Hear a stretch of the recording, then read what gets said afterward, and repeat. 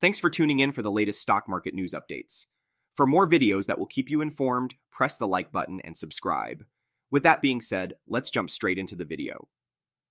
The ongoing surge of artificial intelligence continues to redefine industries and shape the trajectory of innovation, which offers a tantalizing glimpse into what's on the horizon. Investment firm Morgan Stanley has outlined a series of 13 potential AI catalysts set to unfold throughout the remainder of 2023.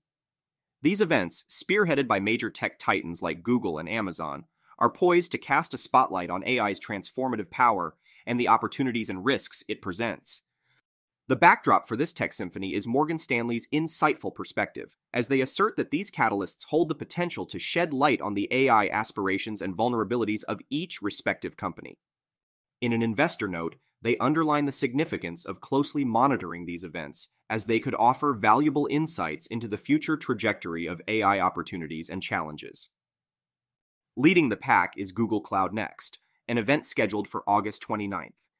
The experts at Morgan Stanley anticipate a wave of new AI offerings tailored for the Google Cloud platform. This eagerly awaited event also raises the possibility of quantifying customer interest in AI and the potential emergence of fresh partnerships across the AI spectrum. As their AI journey unfolds, Google doesn't rest because another potential AI catalyst awaits them, which is the undated release of the Gemini model. This model, experts speculate, could be seamlessly integrated with Bard and the search generative experience by year end. Moving forward to September 19th, Pinterest's Investor Day is poised to capture attention. The event holds promise as a platform to elucidate how the company's AI investments on the user and advertiser fronts are poised to propel engagement and monetization growth through 2024. Next, we have Meta Platforms, previously known as Facebook, which enters the fray with a series of AI catalysts.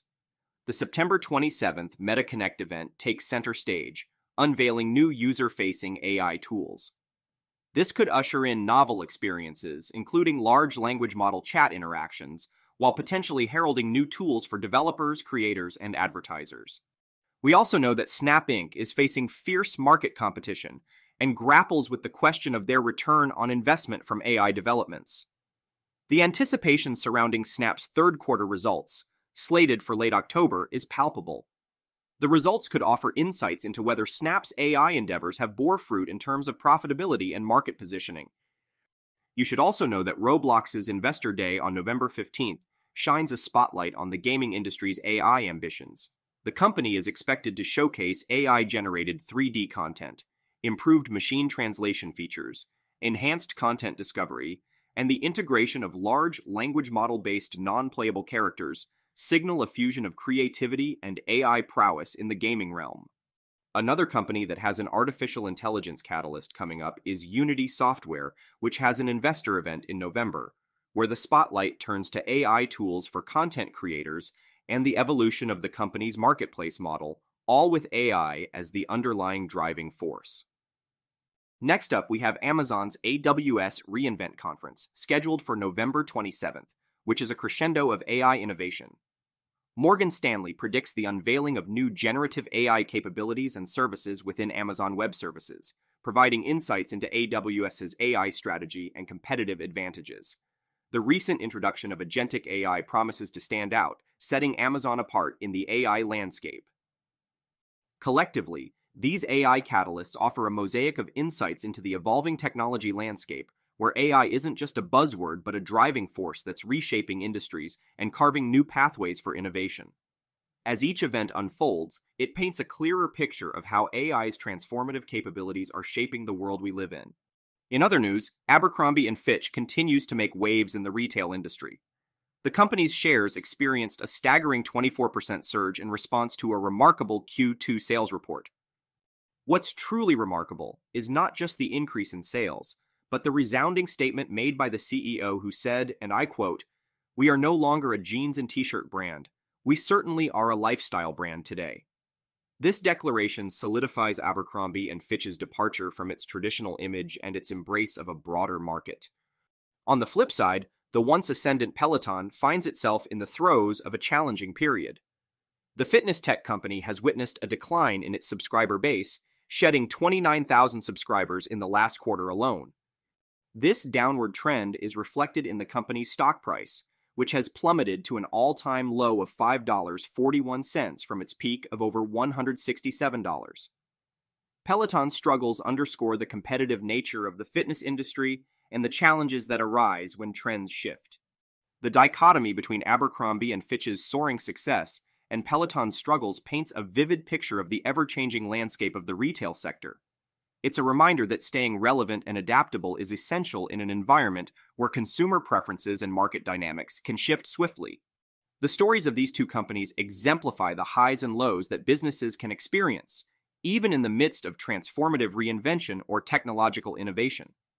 The stage is set for continued transformation and adaptation in a world where success is far from guaranteed. You should also be aware that as the pumpkin spice latte season returns, Starbucks enthusiasts are embracing the autumnal flavors, even in scorching 100 degree weather.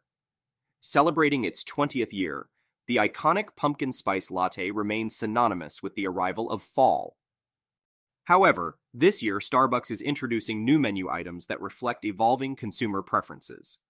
The iced pumpkin cream chai tea latte and the iced apple crisp oat milk shaken espresso cater to the increasing demand for cold beverages. This shift mirrors a broader trend as cold drinks now account for 75% of Starbucks fall beverage sales, a significant increase from just five years ago. On top of that, Meta and Goldman Sachs are leading the charge in bringing employees back to physical offices after the remote work surge triggered by the pandemic. Meta introduced a comprehensive in person time policy featuring ID badge monitoring and potential consequences for non compliance. Similarly, Goldman Sachs initiated a renewed push for a five day in office work week. However, they are not alone in this endeavor, as even companies like Zoom are making moves to facilitate a return to the office environment, albeit with some flexibility. Now for some technology news. As anticipation builds for Tesla's much anticipated Cybertruck, the company is facing quality challenges that raise concerns about its ability to deliver a flawless product to consumers. CEO Elon Musk recently showcased a production candidate of the Cybertruck, providing a glimpse into the progress of the production line. However, keen eyed observers quickly pointed out irregularities in the vehicle's fit and finish, reigniting debates about Tesla's historical struggles with manufacturing consistency. Musk's acknowledgement that the Cybertruck is an extremely difficult product to build is telling. This statement not only underscores the complexity of manufacturing the unique vehicle, but also echoes an internal email he sent to Tesla employees, urging them to prioritize fit and finish. The Cybertruck's distinctive design, characterized by its lack of curves and stainless steel sheet metal, presents manufacturing challenges that differ significantly from Tesla's other models. While the Model 3 sedan and Model Y SUV have garnered acclaim, they don't share the Cybertruck's design intricacies. The quality concerns surrounding the Cybertruck resonate within Tesla's history. The company has faced criticism in the past for production issues like inconsistent panel gaps and ill fitting parts. Such challenges could have far reaching consequences for Tesla's reputation and financial performance. As Tesla edges closer to the Q3 delivery event for the Cybertruck, the stakes are high. Musk's assurance that the Cybertruck's demand is off the hook reflects the anticipation among consumers, Yet, the challenges of delivering a product that meets the high expectations of both enthusiasts and investors cannot be underestimated. As the company strives to overcome these challenges and achieve its production goals, the spotlight remains on Tesla's journey to produce a vehicle that is as revolutionary in its quality as it is in its design.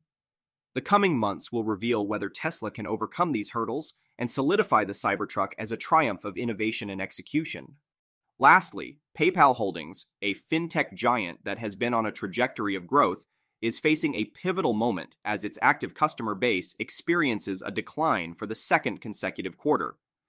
This unexpected trend has raised concerns about the company's growth narrative and the potential impact on its stock price, despite the strong fundamentals underlying its business. Amidst the backdrop of a challenging landscape, PayPal's earnings report showcased solid financial performance. Revenues increased by 7.4% year over year, and key metrics such as total payment volume and transactions demonstrated healthy growth. However, the spotlight shifted to the shrinking customer base, which stood at 431 million active accounts at the end of Q2. This decline in active users represents a significant shift in PayPal's growth trajectory, as its customer base has been a driving force behind its stock's upward momentum. This decline is particularly noteworthy considering that PayPal has been expanding its suite of products and services, including the recent launch of its own stablecoin backed by US Treasuries and USD. These endeavors are aimed at not only retaining existing users, but also attracting a new cohort of users to bolster its ecosystem. The potential ramifications of this decline extend beyond the immediate financial impact. PayPal's stock has taken a hit, declining approximately 35% in the past year, while the broader market has experienced gains. This divergence underscores the pivotal juncture at which the company finds itself. To mitigate the decline and regain its growth narrative, PayPal's management is focusing on diversifying its offerings and enhancing its business performance. The company expects an 8% increase in revenues for Q3 and a 9% increase for the entire fiscal year. Despite these efforts, the uncertainty surrounding PayPal's ability to reverse the trend and reinvigorate its customer base persists.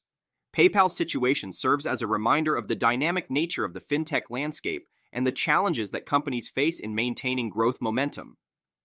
As the company strives to navigate these challenges, the resilience of its business model and its adaptability will be critical factors that determine its trajectory in a rapidly evolving industry. The coming quarters will unveil whether PayPal can overcome the customer decline and reposition itself as a continued leader in the digital payments ecosystem. If you made it all the way to the end of the video, then comment your favorite stock market news story down below. For more engaging content, remember to go press the like button and subscribe. With that being said, happy investing.